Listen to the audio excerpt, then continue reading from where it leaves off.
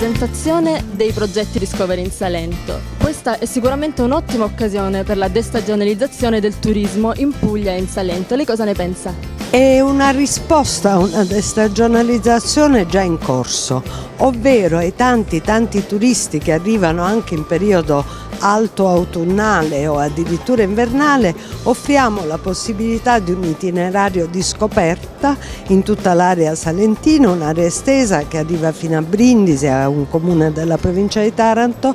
per garantire un'offerta integrata delle meraviglie, delle bellezze, delle attività anche sportive e di ogni occasione che si pone sul territorio in una Puglia autentica aperta anche nella stagione invernale.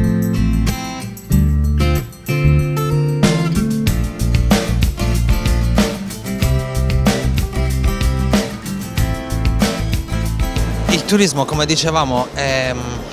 è molto facile. Eh, chiunque eh, ha fatto esperienza di viaggio sa benissimo che ciò che oggi si cerca non è soltanto o non è tanto un posto da vedere o da fotografare, ma è un'esperienza da vivere che è perfettamente coerente intanto con il tuo immaginario, con quello che appartiene ai tuoi sogni, ai tuoi desideri. Quando si parla di turismo si parla di desideri, si parla quindi di, di sogni, ma anche a quelle che sono le tue, le tue, le tue passioni. Per cui eh, uno dei motivi di scelta di un posto anziché un altro è al di là eh, diciamo,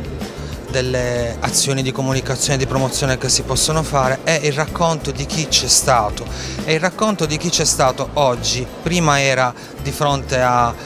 a, un, a uno schermo con le diapositive di viaggio, oggi è Instagram, oggi è, sono i social network.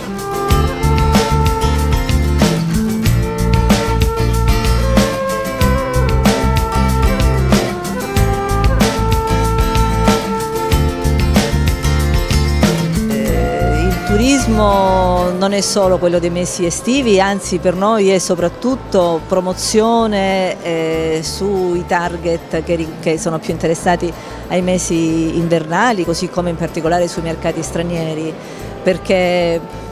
perché la Puglia e il Salento è, è, è bella tutto l'anno, anzi forse eh, nei periodi di cosiddetta bassa stagione, riti, tradizioni, beni culturali, beni... Eh,